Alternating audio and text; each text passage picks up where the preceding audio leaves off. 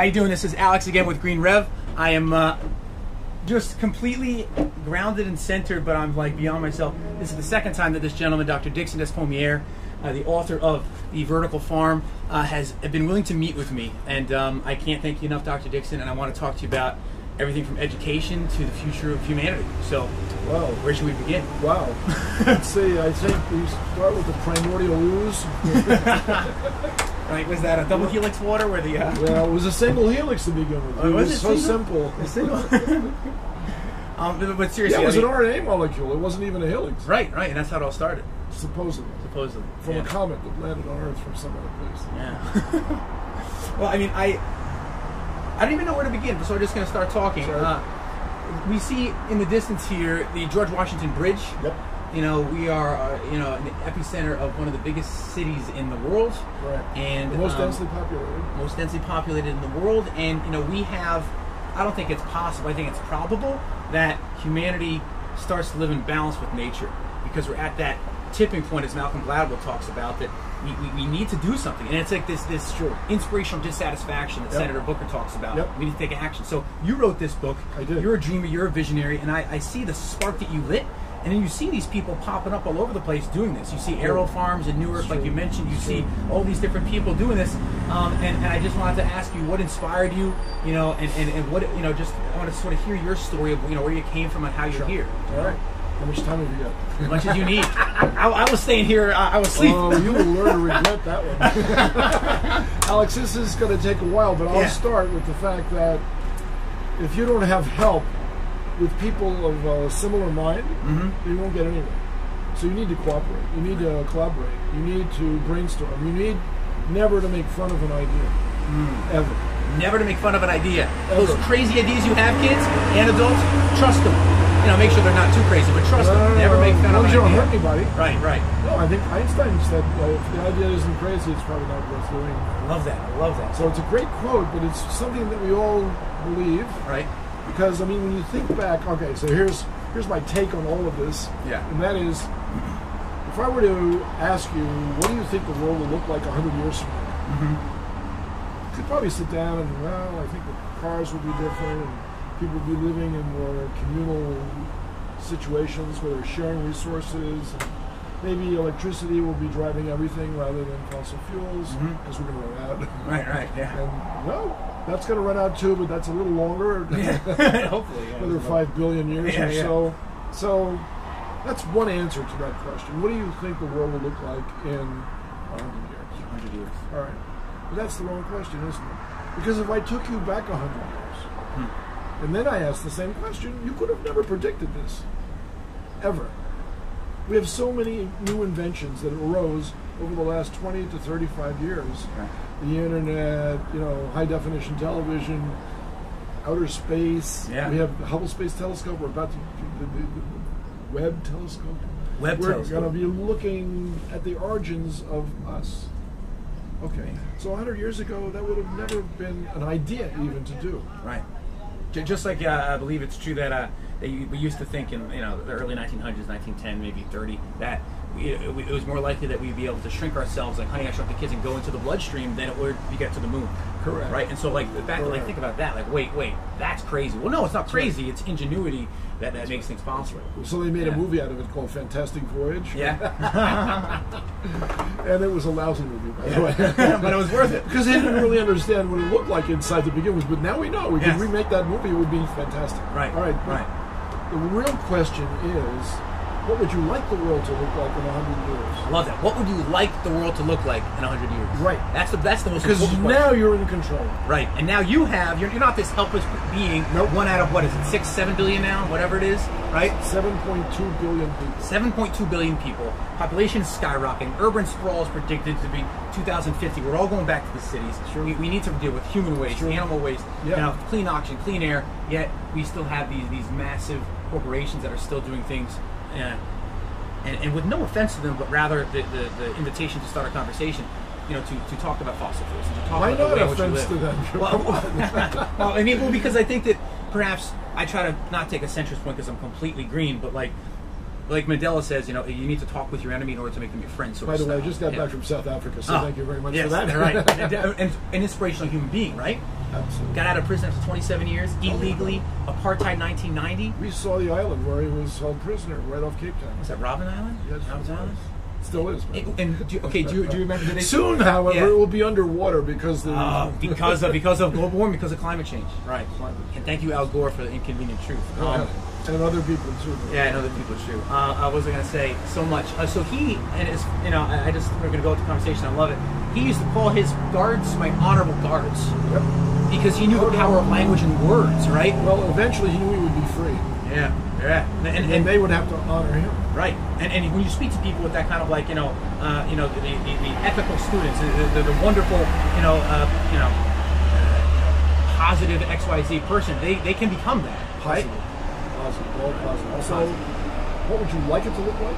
What would you like All it to look like? So that's how this idea started because I ran a class of seven students. That's it. Seven students. It was an elective course called medical ecology. And Medical. in this course, when you have a course that's that open-ended Hmm. with very few students, what are your options? And the answer is everything. So I would sit down and ask them, well, what do you want to talk about? Yeah, yeah, it's awesome. Well, you're the professor. Right, right, right. Yeah, but you're the students. I the same thing my kids. Like, Like, you know, my career is set. I'm going to do this every year, but what are you going to do? Right, right. What would you like the world over? I didn't say it then, but Mm-hmm. I thought about it. So we, I said, I'll tell you what. Why don't we go around the room and find out what each one of us thinks is the most pressing issue facing humanity at this moment? And you're going to get seven different answers, right? They got one answer. Climate change. That was it. They said population. Well, then, uh, the reason why population is out of control right now is because people are moving back into the cities because the farming is failing. Hmm. And the farming is failing. Oh, climate change. Okay, fine. And, and, Um, and this was what year, Doctor? 1999. 1999. Yep. These Columbia students. It was the year the West Nile virus arrived on this shore. wow. So that that was a seminal year for me because those students, all of all of who wanted to do something about climate change. Yeah. What is there to be done? I mean, one person? Are you kidding? Yeah. So before we go any further, let me give you my reading list. I'll write this down if you don't mind. I don't know mine at all. So we start with a book called The Lorax. The Lorax. Everybody knows about the Lorax. Well, Lorax. This is what happens when you take everything away. Dr. In Seuss. name, yeah, sure. But he wrote the book not for kids. He wrote it for himself. Hmm. He wrote this book as a lesson to himself as to what happens when you disconnect all the networks of life. Right? That's book one. Book number two is a book by uh, Edward O. Wilson. And that book is called Diversity of Life. And I'm sure you're familiar with it because there's there are many editions of that book out there. So the diversity of life teaches you about the wonders of this planet. It's the only one we think so far that has life on it. Right. And look at the life. I mean, you can't go anywhere without finding life. Again, I was in South Africa. They have the deepest mines in the world. They have a mine that goes down two and a half miles. They're mining gold. Crazy? Yeah. Go down two and a half miles for gold. Gold. You can't even eat it. You Can't even eat it, right? It's it's it's this. So, what do you think they're finding two and a half miles down? There's something oozing out of the rocks, Yeah. and it's called snot. Snot. Snot. Technical term. Snot. so, no one knew what it was. Yeah. They just thought it was snot. Yeah. So then, one year, a microbiologist decided to go down to see if snot was actually something. It is. It's something. It's bacteria. Bacteria. Two and a half. Oozing out of the rock. Oozing out of the rock. They live in the rock. In fact, they eat rock. They eat rock. Are they anaerobic or aerobic? Anaerobic. Without Oh, oxygen, eating rock. Tremendous anaerobes. There's Yeah. chemosynthetic anaerobic bacteria. chemosynthetic anaerobic. So, so they, they, they chemosynthetic. They, they synthesize chemicals, right? And not oxygen. You know, it doesn't need oxygen to breathe, and then that breaks down some portion of the rock. You know, and then it spits And out. And they eat that. That, in fact, it's claimed that all of the ores that we see are accumulated in places by microbes that put it there. Wow, it's almost their excrement, the purified excrement. Well, wouldn't that be great if we found out that gold was a microbial excrement? I mean, it would really be ironic. Yeah, I love you, honey. Will you marry me? And We, by the way, uh, here's some. Go all over the world looking for excrement. yeah, yeah, yeah. All right. Priceless. panning for excrement, Yeah. right? So I'm going to talk about excrement also because Yeah, but okay, because food equals waste. right, but it's Right. not waste. I'll get to that. Okay. The point is that life refuses to take no for an answer, no matter where you want to go. You can find it in the hot springs of Yellowstone Park. You can find it in Mariana's Trench, which is like 36,000 feet below the ocean. You can find it in the crust of the earth. And, and as far as that, what you just said, uh, I know that uh, an amazing school, Alta Vista School in San Francisco. If you have a kid in San Francisco, send to the school, Alta Vista School, off of the mission. They right now two plays they're conducting. Guess what they're on? Student produced and student choreographed. One is on the Mariana Trench and how they're finding plastic in it. Really? That's, this is a play. How progressive is that school, right? And the other is on black holes and why we should care how they affect our daily lives. So sorry to interrupt. I just had No, to. you're not interrupting. Yeah. This is a free-flowing conversation. Yeah, it just made me. Yeah, that's Right, no, no, Yeah, one yeah. idea triggers another. So, Yeah. So and that's how the class evolved in 1999. Mm-hmm. So if climate change is the problem, what's the answer? Right. Well, there was a famous ecologist, many, but one I like the best is Howard Odum, not Eugene Odum, Howard Odum. Okay. That was Eugene Odum's brother. Actually, I like Howard and I like Eugene both. Eugene Odum wrote a book, which I also recommend, called Fundamentals of Ecology. And that book should be read by every politician, every planner, every city municipal leader. This book tells how life integrates together to produce the earth. Wow. Okay. And it's written in simple terms. Nice. His brother, on the other hand, was not a simple individual. He was a complex individual, and he ended his career at the University of Florida. Okay. And he became world famous for his boxology of life. Boxology. The boxology. So the sun shines down and it makes this much energy, right. and then that much is taken off and used for these plants, and that plant is eaten by this animal, Uh-huh. and each one is in a little box, and it's the size of the box is how much they take. Of the sunlight. The Yeah, so you can you can get a moving picture Yeah. in a still drawing of the way an entire year's worth of ecosystem behaves.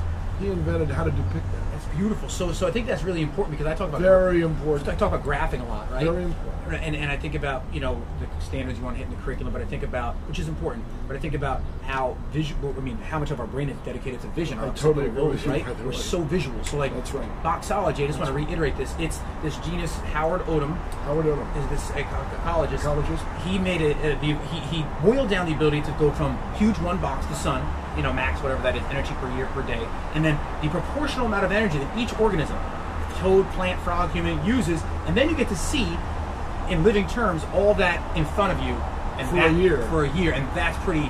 So uh, that's like a substantial. a still motion picture. A still motion picture shows you that. That's yeah. Ingenious. So when we So- talk about graphing, yeah, So I'm going to give you his quote. yeah. Nature has all the answers. That's only half of the quote. Mm-hmm. What's your question? right. Love it. So what is your question? Biomimicry. So there you go. So that that will lead us into another discussion. Yeah. Sure. So so inspired by nature, basically that's that's basically what we're talking about. So an- another book that I, re- I required is called The Man Who Planted Trees. And the reason why I, I require the book is because it shows you what a single individual can do over his lifespan or her lifespan. Yeah. This man accumulated seeds of a particular tree, picked out the best ones, Mhm. and every day he planted 100 of those. Every day. Every day, One day, 100 seeds. per day, for the rest of his life. Wow.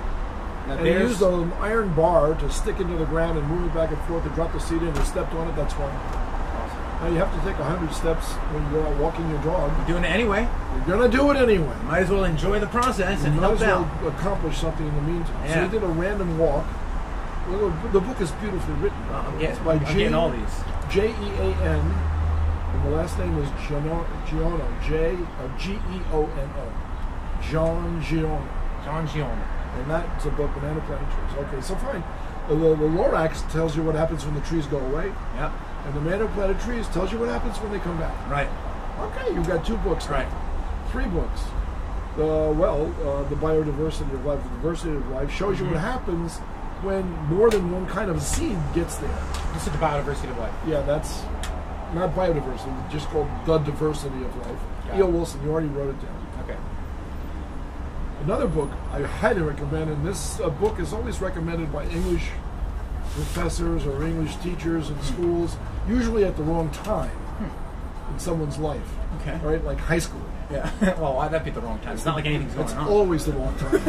Hormones are hitting you. Come on, forget about it. How are you supposed to learn I sociology when you're looking at Amy's beautiful legs? Exactly right. That's the name of another book. We won't go there. Oh, yeah, this is All right, the name of this book is called, and you will know this book. It's called The Grapes of Wrath, Yeah. and it's written by John Steinbeck, and it's the history of modern agriculture in the United States. All right. So those are. I'm going to put this down here because otherwise. So. I love this book too, though. Cradle to Cradle. Cradle to cradle. And the reason why I love the book is that if you read the first chapter, you can read the whole book. That's it. Yeah. The first chapter is the entire book, Yeah. And it's again and again and again and again Yeah. and again and again and again. Right. Just keep circling. And, And, and can you tell the, the, the viewers what cradle to cradle is? You know, and, I and- sure, sure can. So Yeah. there's another expression called cradle to grave. right. If you move to Sweden or Norway or any of the Scandinavian countries, and your child is born there, Mm-hmm. the birth is recorded, and that individual's life is known to the government from the time they're born until the time they die. So that's called cradle to grave management. Mm-hmm. And no one is allowed to go hungry. No one is allowed to go without clothing or housing or etc. Everyone shares. It's a very sociological thing. It's a very um, socialism. Yeah. It's a dirty word in this country. Yeah, and, but, yet, but, but, but a beautiful thing to live within. and yet we have social security. Right, and we social have- security, We have unions. yeah. Come on, everybody acts as groups. So And I think I think the reason why that is a dirty word something is It's because dirty word. it's because communism and socialism Ism. ha- ha- It's an it- ism. It's an ism, and it's been branded and and just like some religions, many religions, Christianity is not included. Oh, don't get uh, me started. I, I know, but, but but just like many things can be used uh, inappropriately, and I think that isms people get scared because people have used isms before for, for negative reasons, Well, right? But I think you're right. When you have a community, when you have a co-community, right, Right. commune, when Yeah. people are together, like in Northern Europe, which I think has a very homogenous population, so it's easier to get along with people that you're you, you think you look you you think you have a similar similar thing with. But this day and age, we're all one, right? Or, Well, I just got back from South Africa, so Yeah. I told the people there that were of a different color than me. Yeah. I said that was the original color. Something bad happened to us. right. So I don't know what happened. I wish I was still that color, but I'm Right. not. I'm just I don't know. Yeah, well, I mean, I don't know. I, I might be Well, worse. I mean, same genes. same genes, different expression. different expression. Right. So okay, Yeah. so So cradle to cradle versus cradle to grave. so uh, in opposing